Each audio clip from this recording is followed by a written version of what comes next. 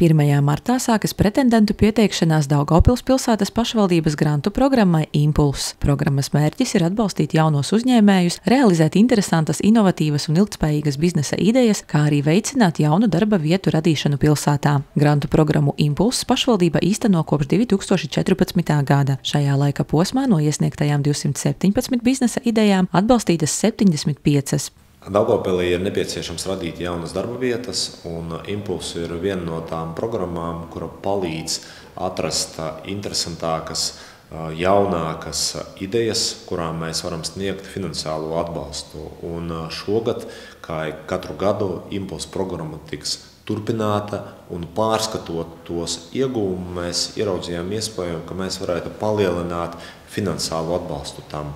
Un šobrīd ikvienam Daugavpils iedzīvotājam, kuriem ir jauka, interesanta ideja, kuram ir nepieciešams tas starta kapitāls, lai to ideju realizētu, varēs pieteikties impulsu programmai un saņemt pašvaldības atbalstu gandrīz vai div, divkārt lielāku nekā līdz šim, faktiski līdz 10 tūkstošiem eiro.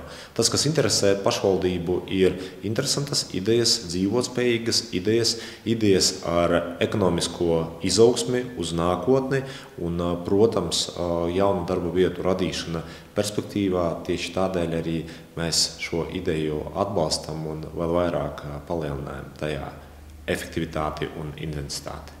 Šogad programmas sniegtā atbalsta apmērs ir palielināts. Vienam granta saņēmējam noteiktais minimālais granta apmērs ir 5000 eiro, bet maksimālais pieļaujamais grants ir 10 000 eiro. Iepriekš maksimāla atbalsta summa bija 7000 eiro. Atbalsta intensitāte ir līdz 75% no atbalstāmajām izmaksām. Kopējais pašvaldības grantu programmai paredzētais finansējums ir 60 000 eiro. Pieteikties dalībai grantu programmā var Daugopilī reģistrēti komersanti un komercsabiedrības, kas uz līguma slēgšanas brīdi nav vecāki vecāki par diviem gadiem, kā arī fiziskas personas, kuras Daugopilī deklarētas ne mazāk kā vienu gadu, kas granta saņemšanas gadījumā apņemas dibināt komercsabiedrību vai reģistrēt individuālā komersanta statusu savas biznesa idejas realizācijai. Plašākā informācija par grantu programmu Impulss un tās nolikums pieejams Daugopils pilsētas pašvaldības mājaslapā www.daugopils.lv.